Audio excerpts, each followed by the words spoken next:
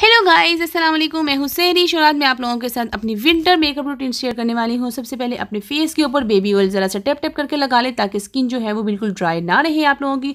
उसके बाद यहाँ पे रिवाज का मैं यहाँ पे लगा रही हूँ। फाउंडेशन फाउंडेशन जो है अच्छी तरह से ब्लेंड कर लेनी है। फाउंडेशन ब्लेंड करने के बाद रिवाज का यहाँ पे मेरे पास बहुत सारे प्रोडक्ट्स हैं। रिवाज का मैं यहाँ पे पेनकेक यूज़ कर रही हूँ। फेस पाउडर अच्छा नहीं लगता और फेस पाउडर वैसे भी उड़ जाता है। और आप लोग बेटर है कि विंटर में आप लोग ये ही यूज़ करें। बहुत ज़बरदस्त है। इसको टैप टैप करके आप अपने फेस के ऊपर लगाएँगे। उसके बाद अपने पूरे फेस के ऊपर आप लोगों ने हाईलाइटर लगा लेना है। जहाँ पर आप लोगों को अपना स्किन जो है ज़्यादा हाईलाइट करनी है, वहाँ पर आप लोग ज़्यादा थोड़ा हाईलाइटर लगा दें।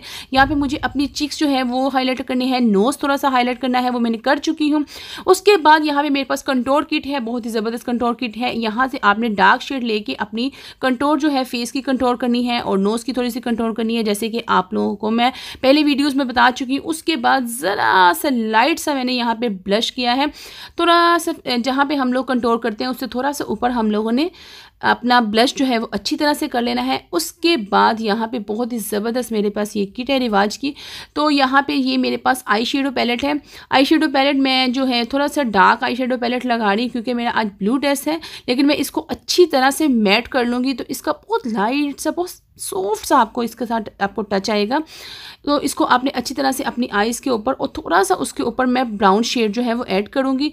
ओके उसके बाद अपना, मैंने यहाँ पे रिवाज का ही मेरे पास ब्लश ऑन है। तो इस ब्लश के साथ मैं इसको जो सिल्वर शेड है, वहाँ से अपनी चिक्स जो है वो हाईलाइट कर लूँगी।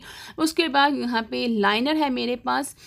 तो लाइनर जो है, बहुत ज़बरदस्त तरीके से मैंने इस तरह से थोड़ा बहुत ज़्यादा बाहर नहीं निकाला है। बिल्कुल रूटीन का मेकअप किया है, बहुत ही प्यारा लाइनर में लगा है। उसके बाद मस्कारा जो है, वो मस्कारा लगाऊँगी और अपने कर्ल आई शेड तो आई लाइश जो है, वो थोड़ी सी कर्ल करूँगी। उसके बाद यहाँ पर मेरे पास ये है लिपस्टिक है और बिल्कुल सी लाइट से कलर की लिपस्टिक है।